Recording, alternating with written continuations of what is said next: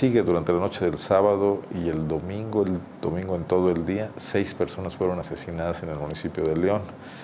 Un caso particularmente llama la atención, pues hay indicios de que fue un policía municipal que pudo haber disparado la bala que le cegó la vida a un menor de edad al atender una riña campal en la colonia León 1. En el mes de julio, en León solamente están registrados 18 homicidios en 17 días. la cifra no cede. Alejandro Sandoval está en la línea telefónica para darnos más detalles de esta violenta jornada de fin de semana. Alejandro, buenas tardes. Muy buenas tardes, Arnoldo, y a todo el auditorio de Zona Franca. Como bien lo señala, fíjate que fue, eh, fueron 24 horas de mucha violencia aquí en la, ciudad de León con estos homicidios que señalas. Eh, todo empezó la noche del sábado, por ahí de las 22.30 horas.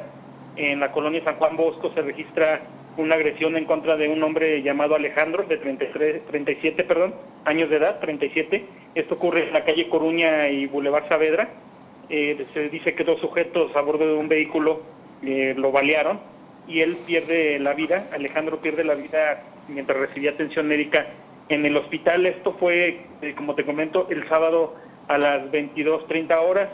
Y bueno, en las primeras horas del domingo se registran dos agresiones una de ellas en Cerrito Amarillo, que es por el rumbo de las joyas, donde un hombre de 20 años de, eh, llamado Ismael recibe una, una herida en el cráneo con un objeto corto contundente, al parecer un machete, y eh, se reportó a las 7 de la mañana de ayer su fallecimiento. Y el caso que llama más la atención, Arnoldo, es este que comenta que ocurre en la colonia León 1, donde pues un, un adolescente de 15 años es privado de la vida esto pues eh, se dice, o, hay eh, eh, al menos el señalamiento de testigos, que ya hablamos con ellos, que señalan que fueron policías preventivos los responsables de este, este homicidio. Quien falleció es un menor de nombre Miguel, de 15 años de edad. Esto ocurre, te voy a platicar primero lo que señala la autoridad y que fue como nosotros nos enteramos de este hecho.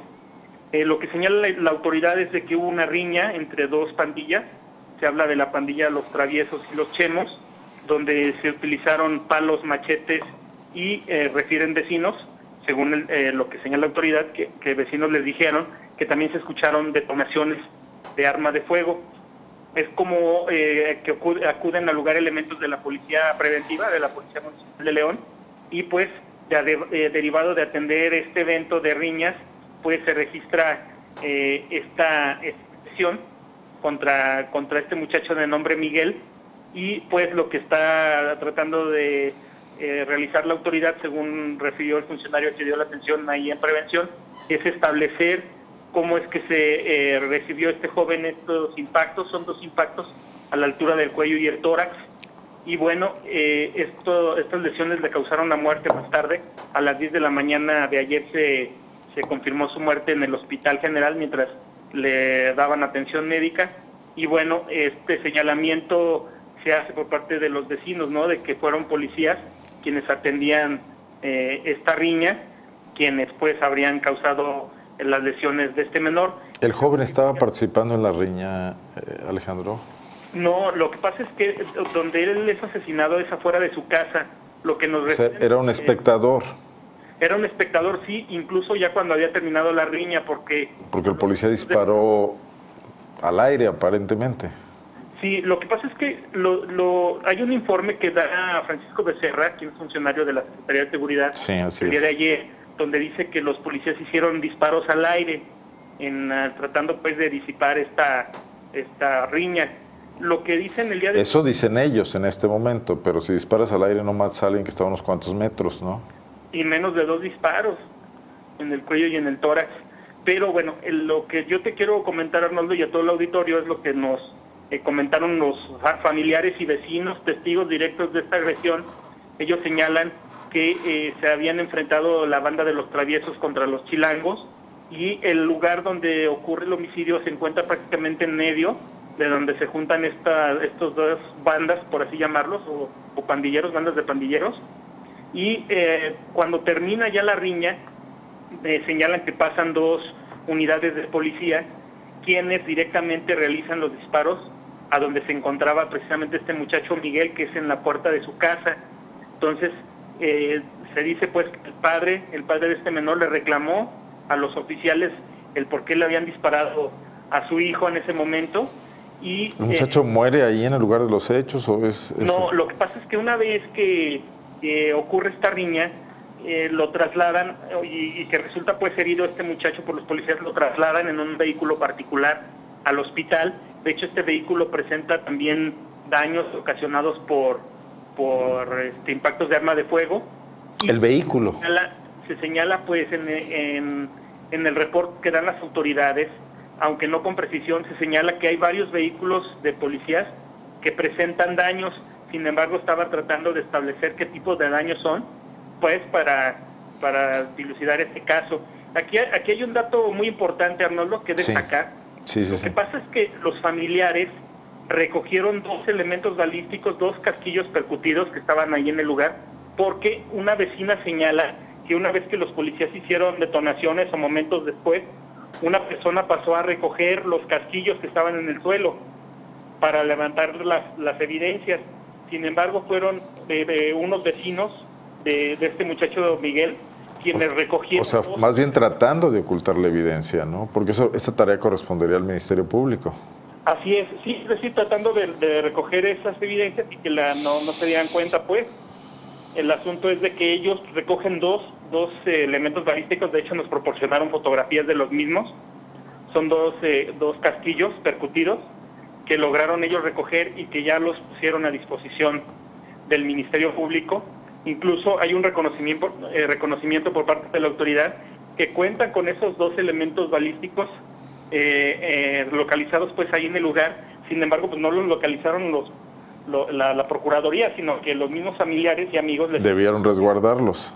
Así es. Y aquí no actuó la policía como primer respondiente. Así es, entonces aquí, te fijas, pues hay una situación muy cuestionable de lo que ocurrió ahí. Pues bueno, tanta capacitación para, para que luego pase esto. Oye, ya habló hoy el secretario de Seguridad Pública, bueno, pues ayer habló Becerra, pero hoy... No tengo el dato si haya hablado ya directamente el secretario Arnold, solamente tengo el testimonio que dio Francisco Becerra, porque ayer hubo un evento, un evento público donde él hizo esta declaración de que habían detonado los policías al menos un disparo al aire. Tengo entendido que esta declaración iba en el sentido de que ellos hicieron este disparo para tratar de, eh, sí, de que se persuadiera la la, en este caso la riña que se está registrando. Pero bueno, son varias cosas aquí eh, muy cuestionables, como lo te comento, lo de los elementos balísticos que son los que aportan los propios vecinos. Entonces el Ministerio Público eh, ahorita está tratando de esperar los resultados porque déjame decirte que en el cuerpo del muchacho también se encontró un elemento balístico, una, una ojiva, y van a establecer si, si esa, esa ojiva pertenece pues a los casquillos que fueron entregados por los, por los familiares, que por cierto están muy dolidos y muy molestos por este actuar de la, de la policía y señalan estas personas que eh, reconocen a quien a los elementos que habían hecho estos disparos, incluso señalan los números de dos patrullas involucradas y bueno, lo que sabemos también, el Ministerio Público ha, ha hecho, pues ha tenido reservas en varios datos que no ha ventilado públicamente sin embargo, se dice pues que hay al menos tres armas de policía que ya están bajo resguardo de la, de la autoridad para determinar si, si fueron, es decir, si, los indicios localizados pertenecen a estas armas de los policías. Importantísimo que sea Así un señalamiento directo, ¿no? Importantísimo conocer lo que tenga que decir Luis Enrique Ramírez Saldaña, secretario de Seguridad Pública. Alejandro, yo creo que debe salir y, y hablar de este tema. También saber si hay elementos, por lo menos, que estén detenidos o localizables, ¿no? Así es, sí, e, efectivamente vamos a estar al pendiente de lo Porque ya se les escapó, ya se les escapó un policía que mató a un joven cuando decidieron no resguardarlo. ¿Te recuerdas el caso?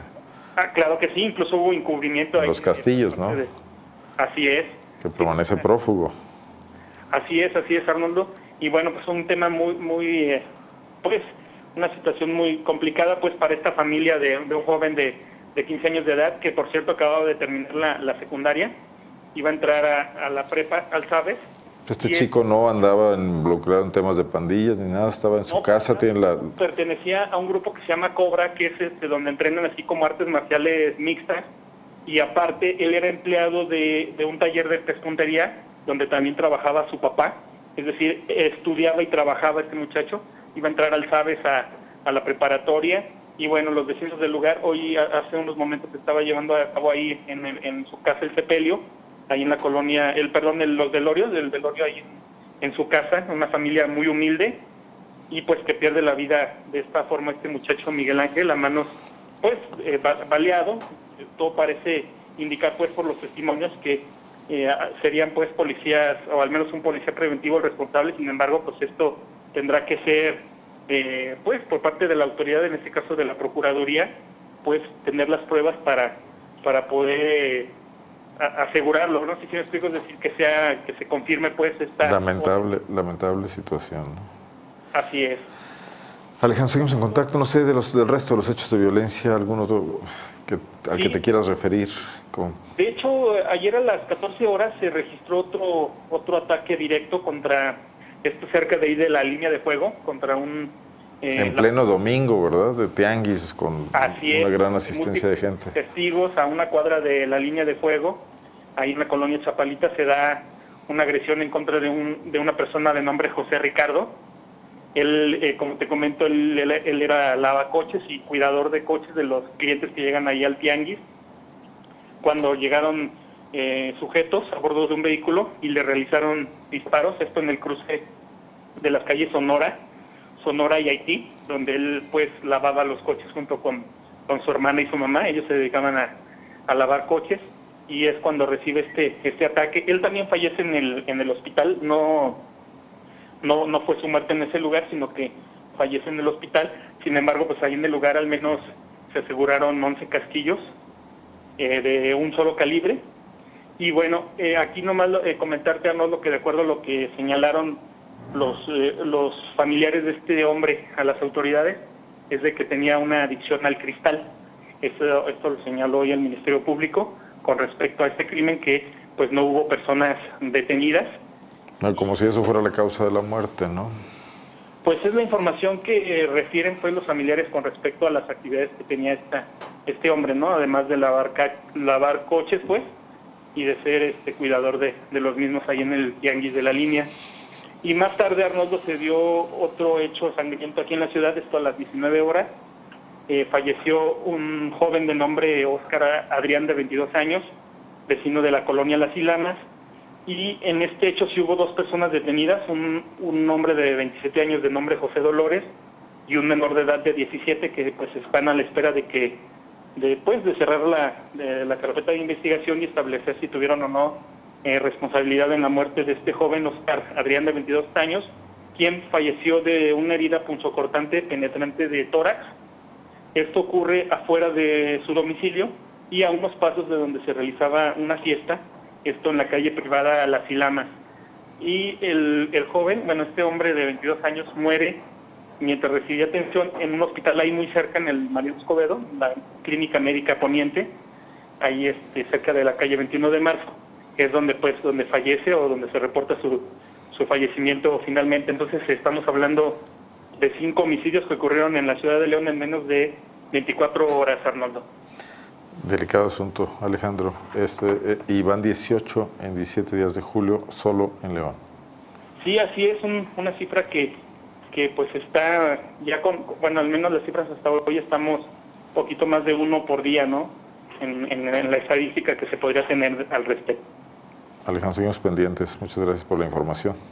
Muy buenas tardes, Arnoldo. Buenas tardes y pendientísimos del caso de este joven asesinado, presuntamente asesinado por policías que bueno, pues enfrentaban a un grupo de pandilleros y terminan disparando y una de esas balas, dos de esas balas alcanzan a un joven estudiante que nada tenía que ver en la riña. Gracias. Hasta luego, Alejandro. Y le informo rápidamente